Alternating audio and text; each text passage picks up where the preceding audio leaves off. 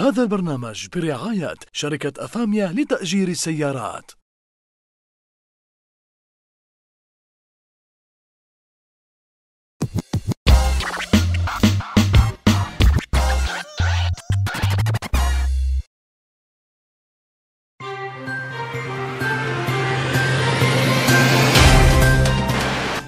ومساء الخير وأهلا وسهلا فيكم بحلقة جديدة من برنامج UAET لاكتشاف المواهب.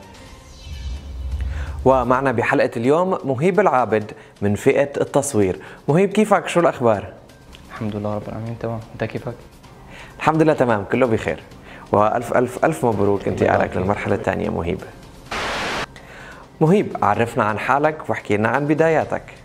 آه اسمي مهيب العابد آه العمر 26 سوري آم، بدايتي كانت آه، بالتصوير من صغري بلشت آه، وشوي شوي تنمت مع الوقت.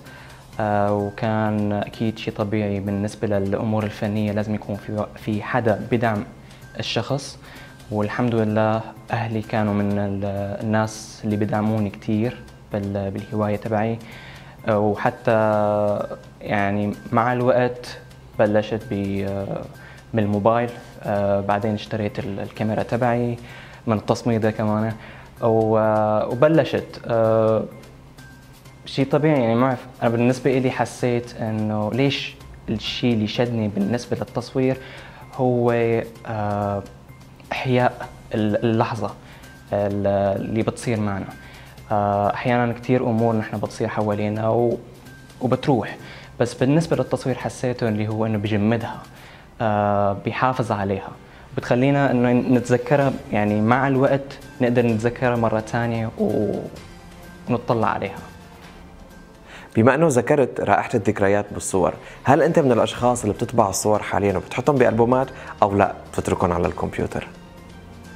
والله لسه ما ما وصلت لمرحلة ال- الصور عندي إنه تنطبع بس أكيد يعني أنا شاركت بمعارض معارض بالجامعة انطبعوا والحمد لله يعني شعور غير وقت بيكون الصور بس إنه على الكمبيوتر. آه لا إن شاء الله إن شاء الله آه في معارض حاطط أنا بالبال آه تصير وتنطبع الصور وإن شاء الله تكون يعني بتعجب الناس. مثل ما بنعرف تقريبا إنه الصورة الصح لازم تكون العين صح، الكادر صح، والإضاءة صح، بالنسبة لك شو أكثر شيء مهم؟ آه، أكيد آه، هو الضوء آه، مهم بالنسبة للصورة بس هي الأهم من الضوء هي اللحظة أنه تسجل. بس حتى هيك في طرق بين التصوير لا تعتمد بس على الضوء ال- الطبيعي بتعتمد على الضوء الصناعي اللي نحن ممكن نساويه بالاستوديو أو الفلاش أو شيء فبنكون نحن عنا صور غير ممكن نقول غير طبيعية. آه، وهذا الشيء بي بيروح باتجاه المصور شو اللي بده يطلع نتيجة طيب آه، مهيب هلا في أشخاص بتحب تصور أشخاص وفي أشخاص بتحب تصور آه، بنايات وعمارات وأيضا هيك لمسات فنية. أنت شو آه، أكثر شيء بيستهويك بالتصوير؟ تصوير الأشخاص كثير بحاول بعد عنه. ما بقول ما بعرفه تمام. بس بعد عنه بس إذا كان بالنسبة لل- للأشخاص إذا بقدر أتحكم بالضوء المسلط على الشخص بصورة اللي هو تصوير الاستوديو.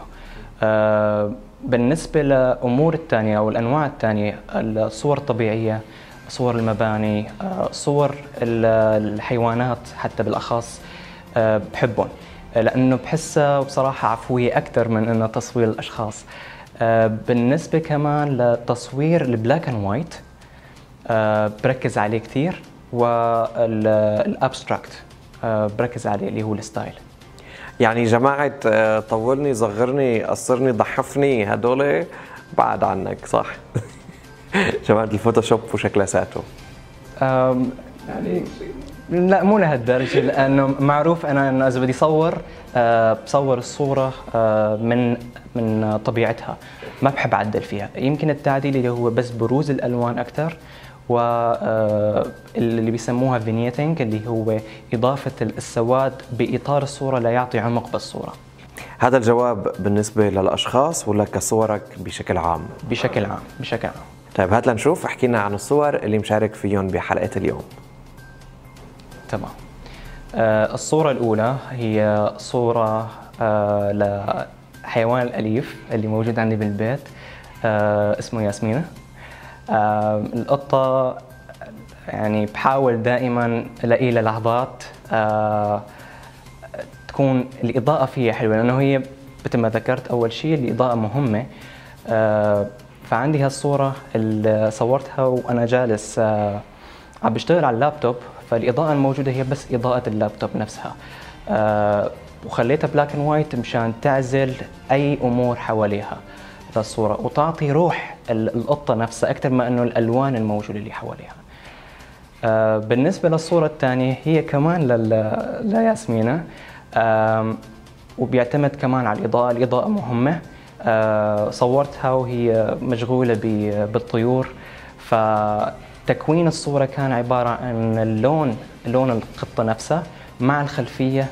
في آه، contra- آه، contrast آه، مختلف فبيعطيها جمال لل- للقطة نفسها.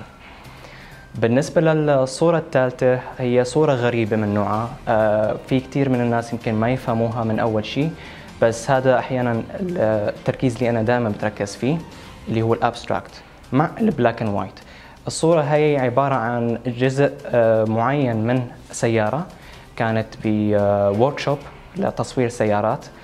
ف بطريقه معينه بإضاءة معينة آه، حاولت تطلع ال highlights تبع الصو... تبع ال- الخطوط للسيارة ليعطيها بروز حلو مع ال black and white آه، يمكن مثل ما قلت يمكن في ناس كثير ما يفهموها بس أحيانا تعطي طابع آه، غريب وغامض. آه، بالصورة الثالثة صورة لنبات. آه، موجود. أنا هي الصورة مصورها بالجامعة عندي بالكلية. في عندي أكثر من صورة من صور النباتات بس هي يمكن أفضل صورة صورتها لأنه بتعطي آه، فروق اللون. آه، ممزوج اللون واللون الأحمر آه، للنبات واضح حلو ممكن للعين. وطبيعة الصورة هادية. للصورة الصورة الأخيرة هي مو- صورتها بداخل الكلية آه، بتعطي طابع الغموض كمان اللي هو ممكن نقول عليها optical آه، illusion آه، بتبين سقف ال- ال- الممر وأرضية الممر صورة غريبة آه، بحاول دائما صوري أنا بحاول وصل. لل... للشخص اللي عم بيشوف الصور وخليه آخذ المفهوم منه أكثر ما إنه أنا عاطي الرسالة من الصور. خليه هو يطلع بمفهوم ويمكن في ناس بتفهم الصور بطريقة ناس ثانية بتفهم الصور بطريقة. أنا يمكن رسالتي بتكون مختلفة فهي بتبن... بتبني أفكار وجدال للصور. وهذا شيء جميل بالنسبة لي. بالعادة بنقول تسلم إيدك بس هون بنقول تسلم عدستك. شكرا كثير لك مهيب ويعطيك ألف ألف ألف عافية. لو حبيتوا موهبة مهيب ما تنسوا تصوتوا له وتسجلوا رقمه بالتعليقات اللي هو رقم 11 شكرا كثير لكم للمتابعة. سلام.